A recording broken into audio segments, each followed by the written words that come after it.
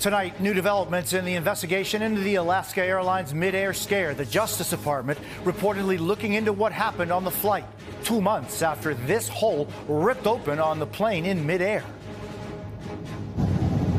The nightmare near catastrophe now under federal scrutiny. Investigators have reportedly interviewed passengers, attendants, even the pilots. What we know so far. The deadly helicopter crash at our southern border Two soldiers and a Border Patrol agent killed, the latest on the investigation. Possible tornadoes tearing through Alabama and Georgia, ripping the roofs off of these homes and scattering debris. Where the storm is going next. The general election unofficially kicking off today. President Biden and former President Trump with dueling rallies just miles apart in a critical swing state. You're the reason why we're going to win. This has been a tremendous week for our movement. What to watch for as the campaign heats up. The new push for aid in Gaza. What the U.S. is doing to get critical supplies there as the humanitarian crisis grows. Caught on camera. Frightening video at a Texas zoo. The moment this gorilla charges at zookeepers trapped inside this enclosure. And roll out the red carpet, the history and potential surprises to watch out for at tomorrow's Academy Awards. This is NBC Nightly News with Jose Diaz Balart. Good evening. Tonight, the Justice Department is reportedly getting involved in one of the most dramatic mishaps on a commercial flight in recent memory. This was the scene in the sky above Portland, Oregon back in January after an entire panel of the Boeing 737 MAX 9 blew off mid flight. A terrifying moment for passengers. A child's clothes sucked out, oxygen masks dropping incredibly, nobody was hurt after it made an emergency landing. But the incident raised a lot of questions. Chief among them, how did this happen? Tonight, the Wall Street Journal reports the Department of Justice is now investigating. Our George Solis leads us off tonight. Tonight, the Justice Department now opening a criminal investigation into that mid-air scare on an Alaska Airlines flight involving a MAX 9 jet where a door plug blew out over Portland, according to the Wall Street Journal. The journal reporting investigators contacting pilots, flight attendants, and even passengers on board Flight 1282 that was forced to make an emergency landing, where fortunately no one was hurt. Alaska 1282, The Justice Department provided no comment to NBC News. The focus of the investigation said to center on whether Boeing has complied with a previous settlement following a federal investigation into the airline's handling of the deadly jet crashes in 2018 and 2019 that killed 346 people. Today, the company providing no comment to NBC News. They're going to look pretty seriously at is this a one off or is this systemic? In a preliminary report last month, the NTSB found four bolts needed to keep the door plug in place were missing. Tonight, Alaska Airlines saying in a statement in part, it's normal for the DOJ to be conducting an investigation.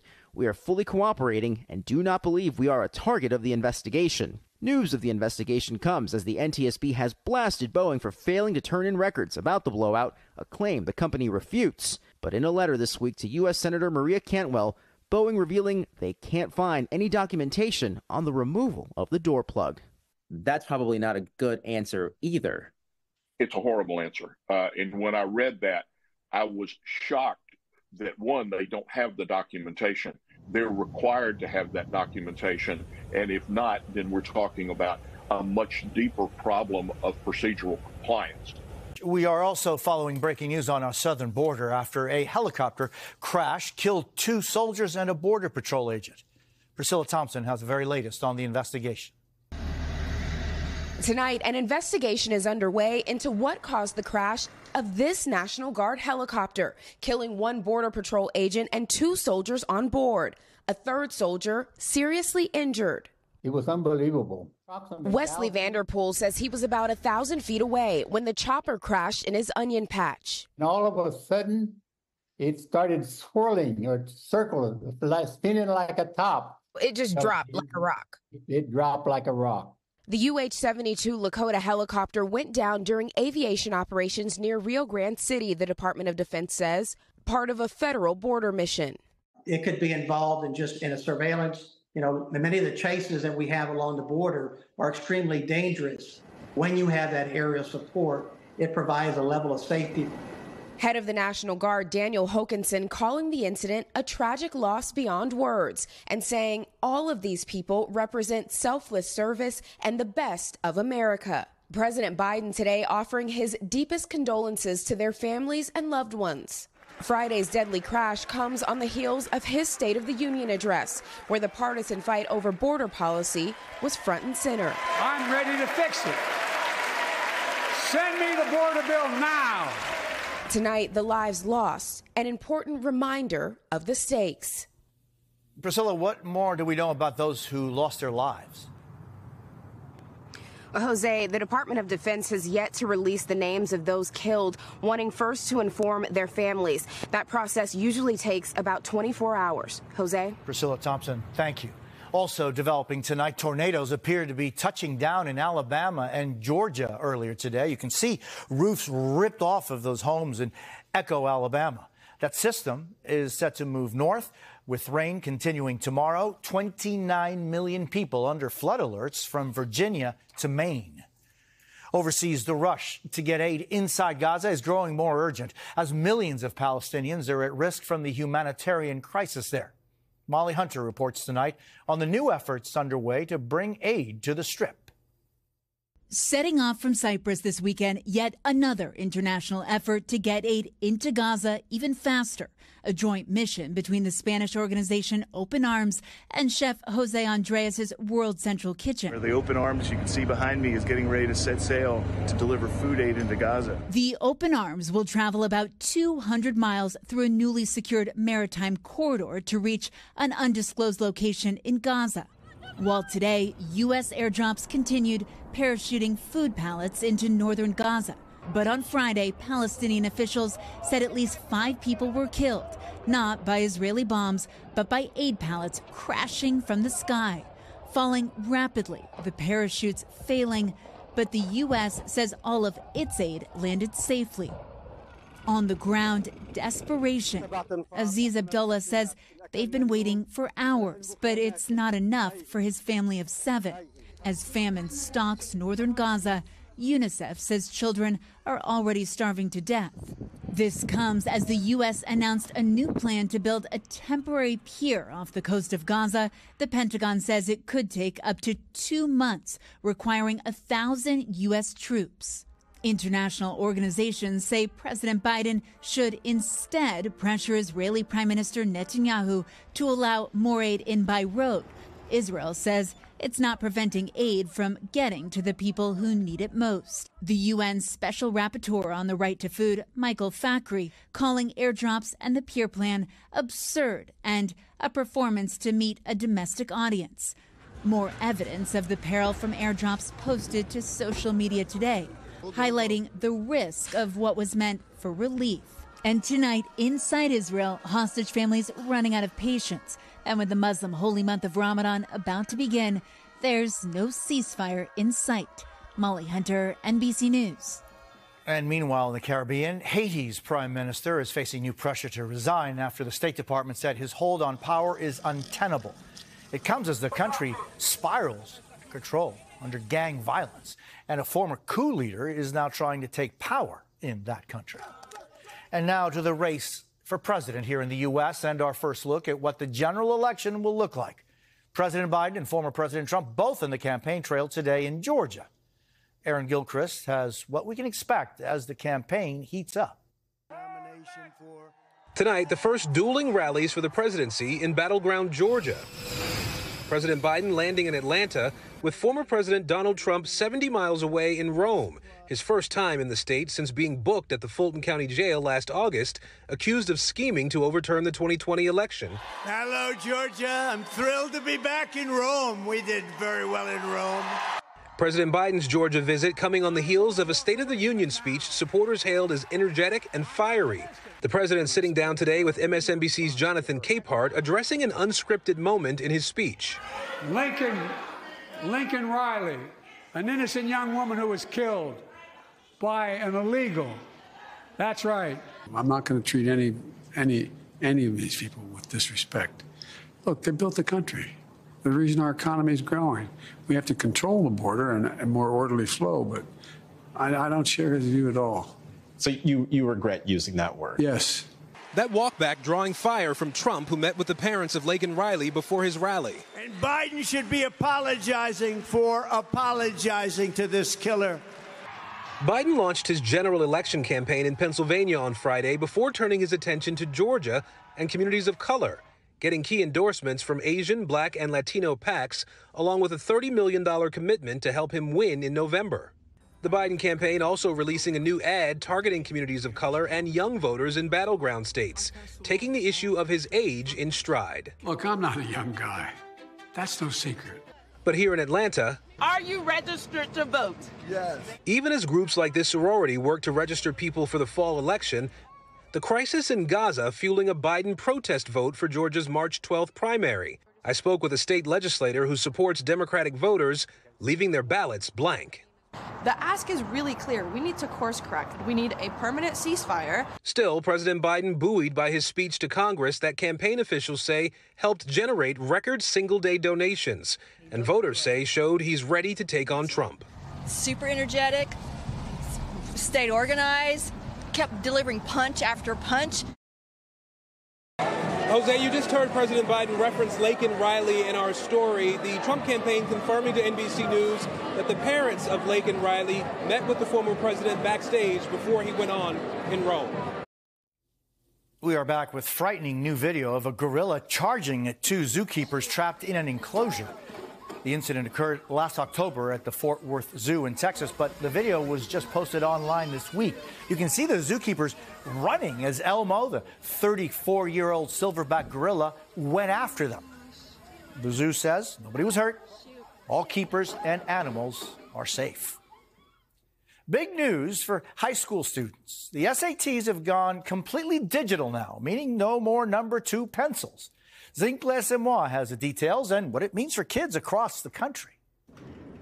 It's the night before the big test, and 16 year old Raina Robinson in Edison, New Jersey, is running through a slew of practice questions. So, this is a section one reading and writing practice question.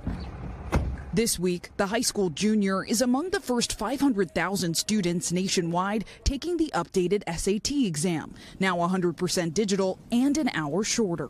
Why did the College Board choose to make this decision? Really, honestly, we're rooted in what we were hearing increasingly from students and schools. We were quickly becoming one of the last major tests that they were taking on paper.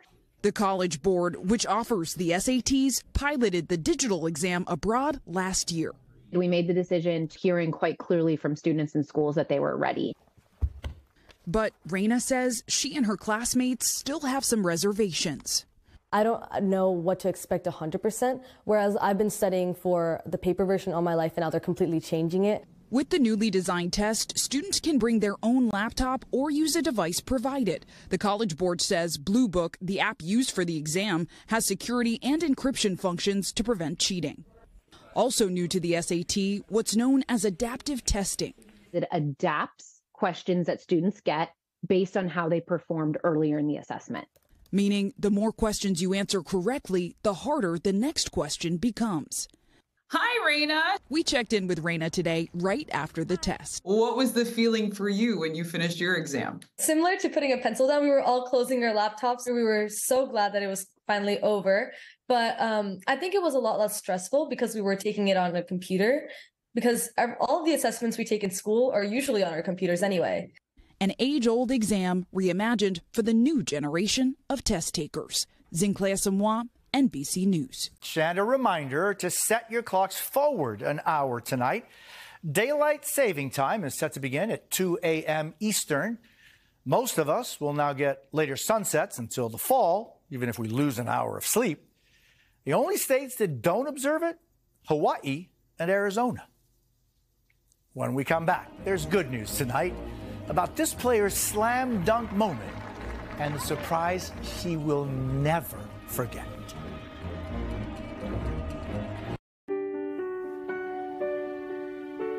There's good news tonight. So often the good news doesn't get as much attention as the bad. So every Saturday we highlight the many people who spread joy and love.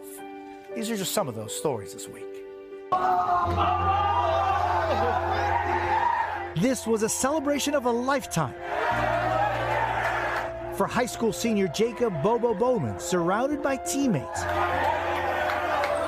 After sinking this shot to help the Virginia Gate City Blue Devils win. It was a thrill because Bobo's the team manager who typically plays football.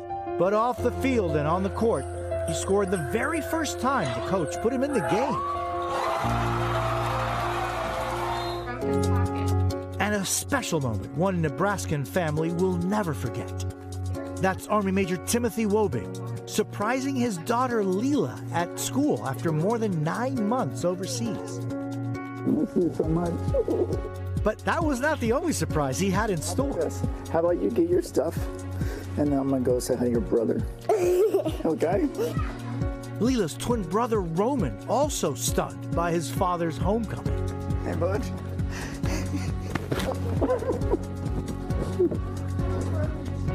Nothing can prepare you for um, that time and just seeing the joy in your kids' eyes. okay? Yeah. And a special celebration for eight year old Layla Gregory in Las Vegas. Ringing the bell to mark the end of more than two years of cancer treatment. For friends and family, it was an opportunity to celebrate